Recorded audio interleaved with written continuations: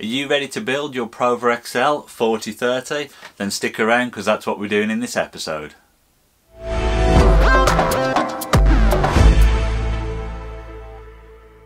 Hey everyone and welcome to another episode of James Dean Designs. Now today's episode we're going to be assembling the Prover XL 4030 from Sainsmart Genmitsu. Now I didn't do an unboxing of this machine because to be honest there's not that much to unbox. A lot of the components come pre-assembled and it's one of the biggest selling points of this machine. And I have to be honest it really makes our life much easier when it comes to building it. Now before we get stuck in with that I'm going to quickly mention Threadlock from Loctite. If you're not familiar with this, it's a bit like a glue that holds the bolts in place and keeps everything secure. But it's one of those pieces of advice that you often find out after assembling your machine when it's sometimes a little bit too late. So I would definitely consider using this, specifically the blue one, when you're going through your build. You just put a drop on every thread as you put the machine together.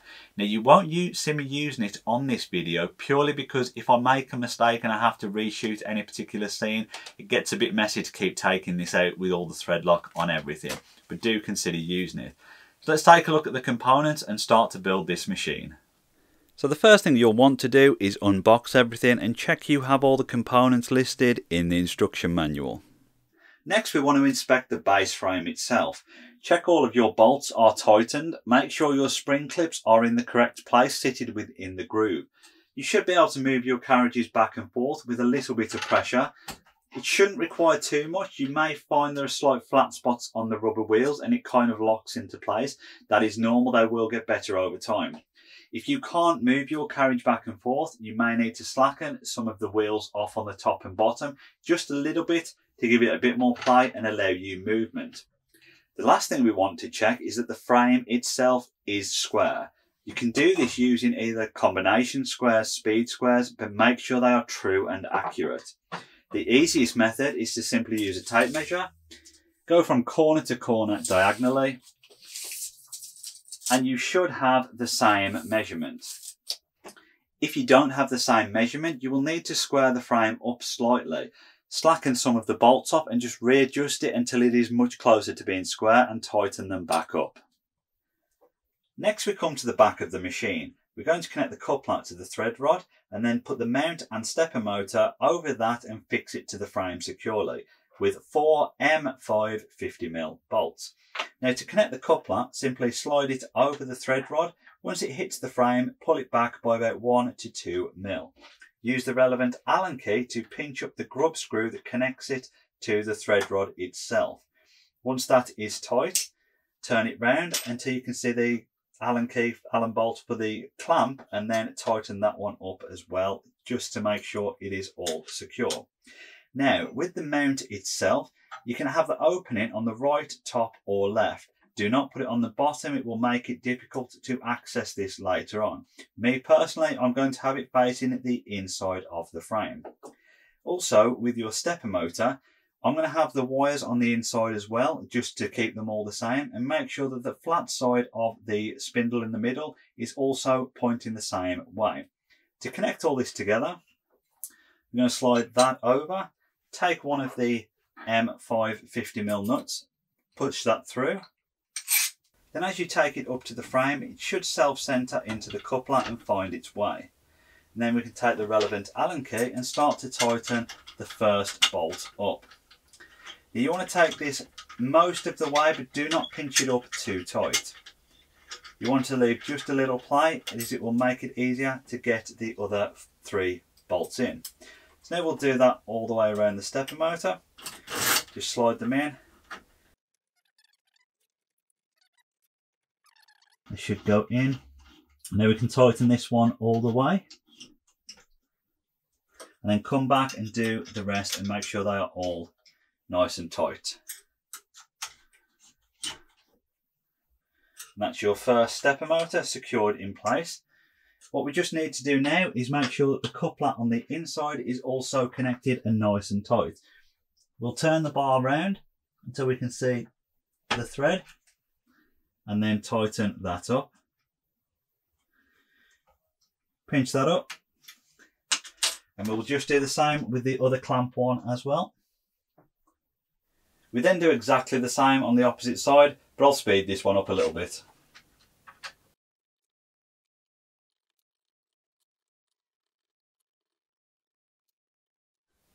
Next we put the spoil board in place. Now the heads of the threaded inserts should be on the underneath or the bottom of the spoil board.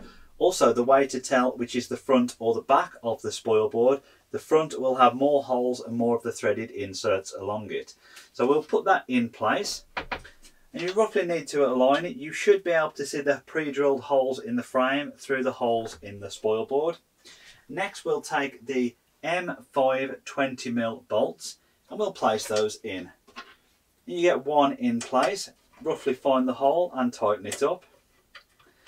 As we've done previously, you don't want to tighten it all the way. Just get it roughly in there and go through and put the bolts in the rest of the holes. I'll speed this section up, you don't want to watch me put them all in. So with all the bolts in place, just do a final run and tighten them back up. I should mention in the instructions, it only says there is six bolts for here, but on my actual spoil board, there are eight holes.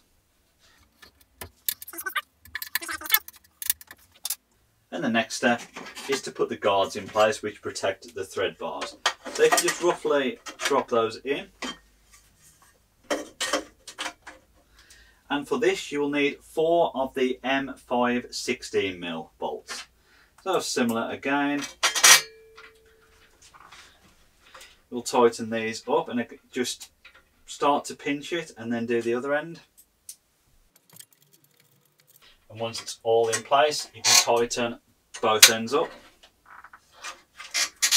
I'll just do that for the other side now.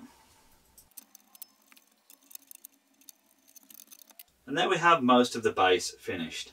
Now before we attach the gantry to the base, we're just going to fit the X stepper motor in the same way that we did both of the Y. So we're going to take the coupler and slide this onto the thread rod. Now this plate is a little bit thicker than the other one so you need to pull this out just enough until you can get to the set screw in order to tighten it up. So once we pinch that up, we'll just tighten the other clamp bolt up. Just pinch that up. And now I'll put this together already to save a bit of time. We're going to have the mouth of the mount facing towards the back. And make sure that the flat plate on the spindle is also facing the same way. Now the cables should be facing towards the front of the gantry. So we'll position this in place.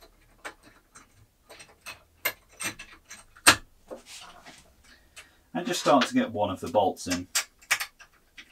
These are the M5 55mm bolts and you'll need four of them.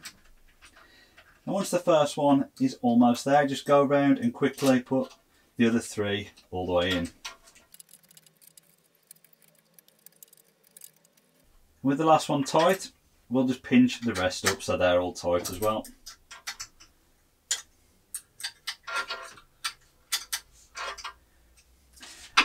and then we just need to rotate this round until we can see the little set screw and tighten that up.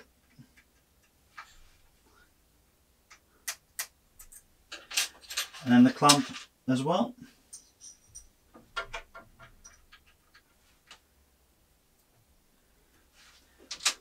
And that is the gantry assembled. So at this stage the official instructions suggest fitting the drag chain mount. But after watching a video from Techie DIY, he advises to fit this later after the drag chain has actually been fitted. So we're going to skip that step for now and we'll come back to it shortly. So the next step is to mount the gantry onto the base. Simply pick it up. You should be able to lower it down onto the plates either side. And that will roughly put it in place. Take a look through the holes, make sure they align with the threaded holes on the plate underneath. You then need the M5 16mm bolts. You will take a spring washer, place that on first, then a normal washer. You can pick it up, place that on, and then put that into the hole. And just to begin with, tighten it up with your fingers.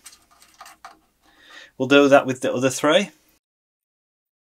And as always, just pinch them up at the end and the same done on the opposite side. Now at this stage I would suggest checking that all the axes move freely. So turn the knobs on every axis to make sure they all move individually.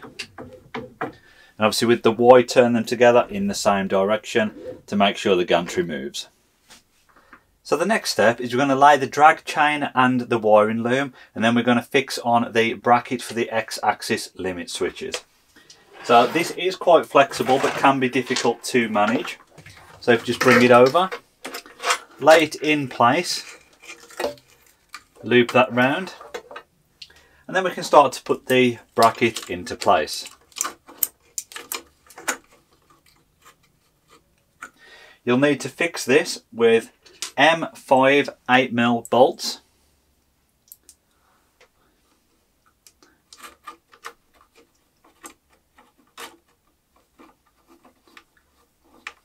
Be careful not to catch any of the wires as you're putting the bolts in and keep it level. It can be a bit fiddly not to pinch the wires so do be careful. And then next we're going to fix the drag chain to this bracket using the small 6mm M4 bolts.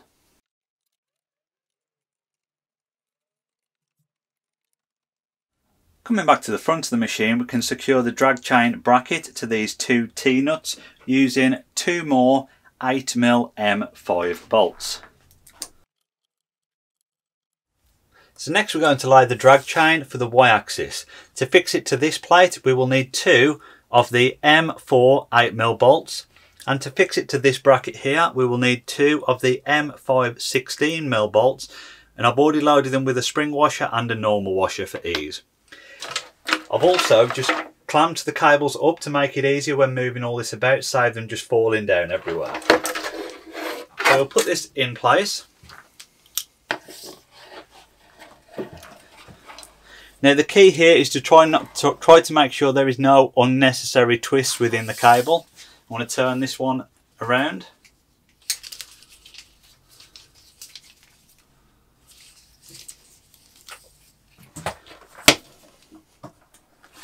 And we'll get these first two bolts in.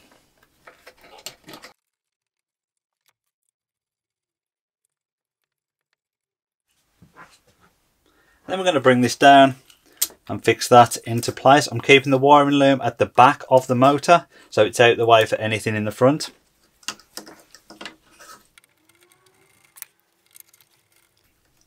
And to make sure that's all secure.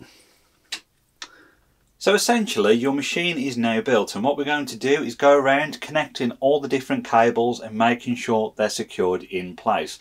Fortunately Sainsmart have done a really good job of making sure that everything is aligned up and every different type of cable has a certain connector to make sure you don't get them wrong.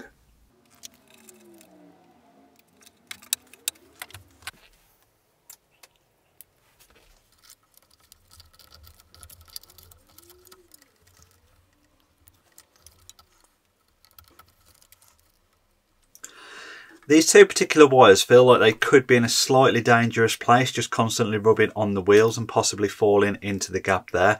I may come back later and secure those slightly differently, um, just to make sure they don't get caught in the wheels.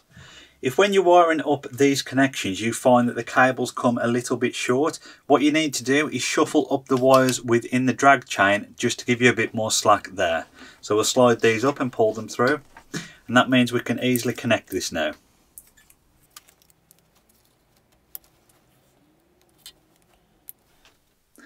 And the final connection is just connecting the spindle up. We'll run it through the cable holder on the side, secure that in place. And then obviously negative to negative and positive to positive, clearly labelled up. Slide that on. And there we have it. So I've just repositioned the Z motor cable to come up over the top of this guard. It's actually probably where it should sit because it protects it from everything else underneath. And then this cable clip also holds that off the wheel as well. So everything should be safe when this moves up and down. So I really like the fact they've given you enough cable to have the control box on either side of the machine. They've done a great job of marking everything up so you know where each cable goes and these correspond to the labels on the wiring loom. Even down to the Y stepper motors they are marked up as 1 and 2 and accordingly with the labels there is a 1 and a 2. Now there are two connectors on the end here for the laser and the Z probe. These pull out quite easily, so do be careful you don't knock them out. You may want to take them out and put them in a safe place until you're ready to use them. And finally, there is a switch here to control the power setting between 110 and 230. Make sure it is correct for your country. Now let's get all these cables connected and complete the final step.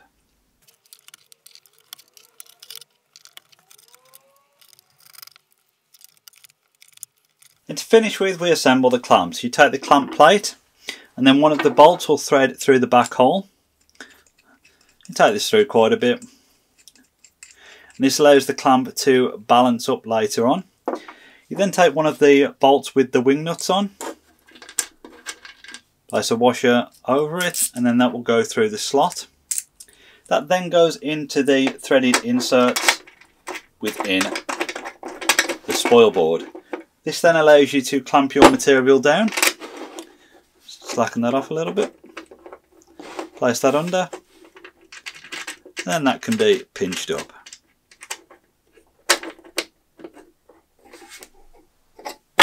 Secure. So you should still have a few items left. More obvious ones such as the memory stick, the USB lead and the power cord will be used in the next episode to connect the machine to the computer. You also have the Z probe and we'll be covering this in a future episode showing you how to connect it and calibrate it with your software. We have a mounting plate and a connector lead for the laser when SainSmart release it. And we also have a 69mm diameter mount for a router. This would typically be the DeWalt. Now the two connectors that I mentioned earlier also go to these two individual items. The 2 pin being for the Z probe and the 3 pin being for the laser and that's why it's a good idea to keep them safe. So there we have it, the SainSmart Genmitsu Prover XL 4030 is fully built and ready to go. Obviously in the next episode we'll be connecting that up to a PC and getting everything running. Now my first impressions of the machine are extremely high. It is well built, it is sturdy and I love how easy it was to put together. The fact that a lot of the components come pre-built and everything is labelled up so well makes it such a smooth process to assemble and I'm certainly looking forward to using it in the future. Now that is everything for today's episode. I hope you enjoyed it. As always please like it, please subscribe to the channel and if you found the content useful do consider donating to the channel via one of the links in the description below. I'll see you all on the next episode.